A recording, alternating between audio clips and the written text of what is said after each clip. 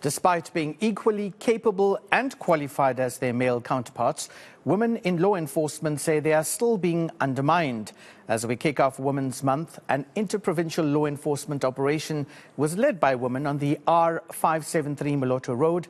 ENCA senior reporter Silindelo Masikane has more.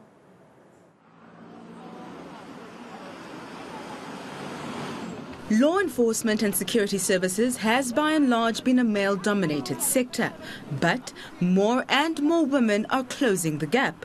Female officers from Mpumalanga and Gauteng joined forces to lead an all women law enforcement operation. Part of what we are committed to as the government of Mpumalanga is to address um, the imbalances of the past. Part of them is to ensure that we empower our women.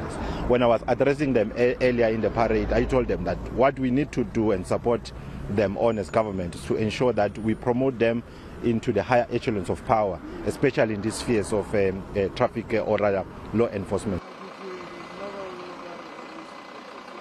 While this month is an opportunity to celebrate their strength and resilience, as women, they face particular challenges too. They tend to undermine us as female, forgetting that as female police officers, we have the same powers as the males. We were trained the same way, we have undergone the very same type of training, and also the specialized units.